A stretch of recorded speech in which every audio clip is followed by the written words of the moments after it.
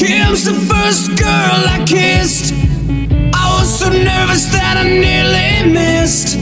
She's had a couple of kids since then. I haven't seen her since God knows when.